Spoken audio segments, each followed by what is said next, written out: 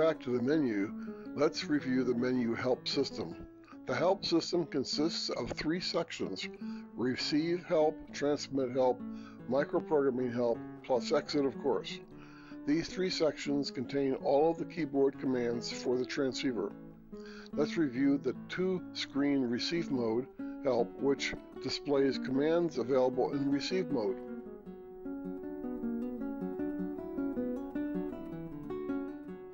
Transmit commands are fewer in number, and mo as most of the keyboard is reserved for typing your messages.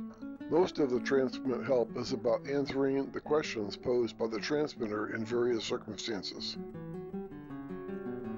The menu help system makes it easy to find commands you need when you don't have the manual handy.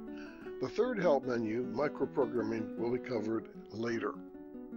The gain control uses the less than comma key and the greater than period key to control audio and decoder gain. For audio gain, use the keys by themselves. With the shift key, the keys control decoder gain.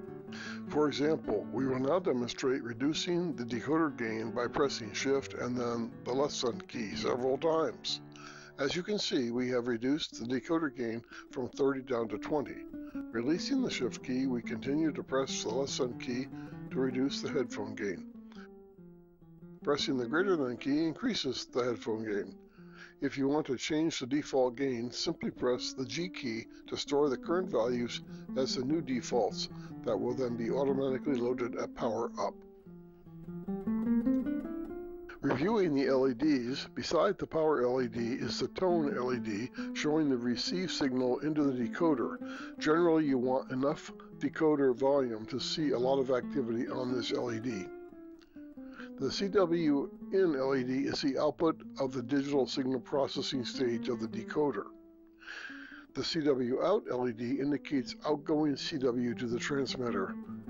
Finally, the enable LED indicates if the transmitter is enabled at the current frequency based on your license.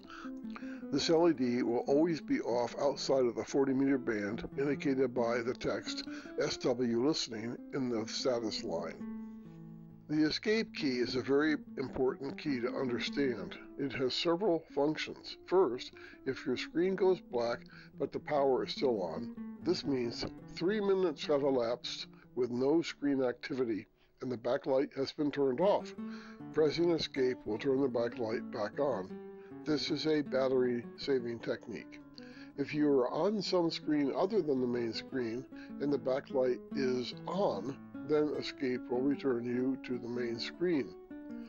Finally, if the backlight is on and you are already at the home screen, the escape key will switch between decoder modes. This will be discussed later. In transmit mode, pressing escape will terminate all transmitter and microprogram operations and instantly return you to the receiver mode.